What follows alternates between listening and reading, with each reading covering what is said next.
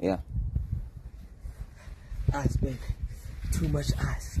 Ice, ice, ice, ice, ice. Butsilidi, free. Matapa. On my way, cause I like you. A door, let me come true, yeah, yeah. I put my feet the front, I want you. It's a date, take a leap of faith, me, I want you, yeah,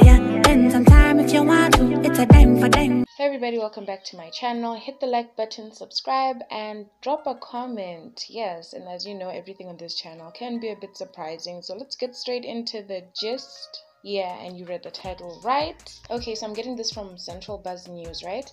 They said controversial house Kwasa musician Vee Mampeezy has taken back his luxurious mustard BMW vehicle from his estranged wife Kagiso. Okay, that part was a bit messy. They didn't have to call him the controversial house Kwasa musician. Okay. Anyway, they also said besides being used by Vee being the owner, this publication can co- confidently confirm that the car is also driven by the musician's personal assistant who runs errands with it. Some of the errands include picking kids from school to their place of residence. Kagiso used to pick the kids up with the very car before the duo's marriage turned sour. The couple, which has been involved in violent clashes, is scheduled for divorce after being married for seven years.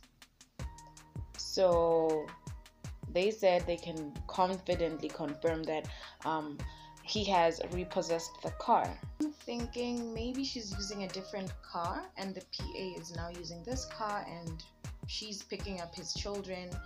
Also, maybe Kagiso is also picking up the children using a different car, you know. But anyway, they said they can confidently confirm, but um, her not using the car doesn't necessarily mean he took it. But I don't know. Like they said, they can confidently confirm. Who am I to? Who am I to say I know better? This person said there is a thin line between love and hate. There is a very thin line. That is very accurate.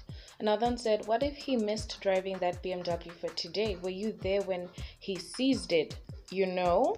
This one said it doesn't matter. Another one said it doesn't matter. She will start from zero to grace. Another one said it doesn't matter. She will start from zero to grace. This beautiful soul said, How is it funny to some? It's just two people off your league sorting their issues. It's true. Like there's so many haha reactions. Like I don't get what's funny. You know, divorce is it's not easy. It's a painful process, but that's how it is. People claim to be your fans, but when things are going wrong, they're just getting happy off your drama. When we encourage our fellow sisters to strive to have something of their own, whether dating or married, they think we are feminists, but it's the truth of the matter. But the truth of the matter is, a man will always devalue you when you don't have anything of your own, wholly dependent on him. Okay, good point, sis. And then there's this last comment just for the kids, his kids, his own blood, he could have left it. Um, so the kids can drive themselves to school. No. So he shouldn't have left the car with her. If he doesn't want to leave the car with her, he has every right not to leave the car with her. His PA can pick them up and drop them off. You know, if he wants, he can even hire a school bus. It doesn't necessarily mean she has to be the only one to pick the kids up. The PA has also picked up the kids in the past.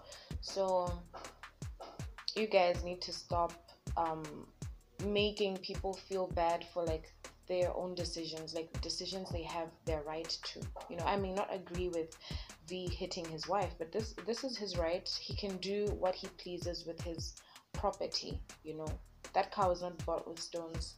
Fact is, a lot of you baby daddies haven't given your baby mamas your cars, right? So why do you want him to give away his BMW, his mustard BMW? Remember, that car is not bought with stones, so let him handle his property the way he sees fit for him and let's not also judge him on how he handles his own property his own money so keep them in your prayers i hope the divorce proceedings go well you know and i hope everything goes smoothly let's just wish them the best yes yes yes yes yes don't forget to subscribe like and drop a comment thank you for watching my video let me come true, yeah, yeah. I put my feet front, I want you. It's a take a leap of faith, me, I want.